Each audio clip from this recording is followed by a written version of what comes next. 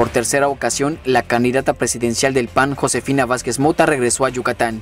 Ante más de 1.500 mujeres, la banderada del blanqueazul manifestó su respaldo a Renán Barrera Concha, aspirante a la presidencia municipal de Mérida.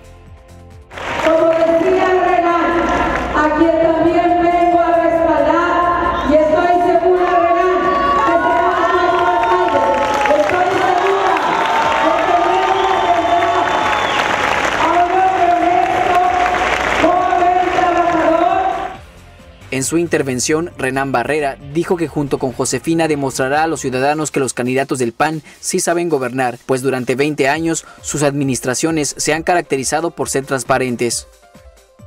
la alegría, el entusiasmo que se vive, lo que logramos transmitir, lo que logramos escuchar de la población cuando hoy todos los candidatos del PAN estamos ya en campaña.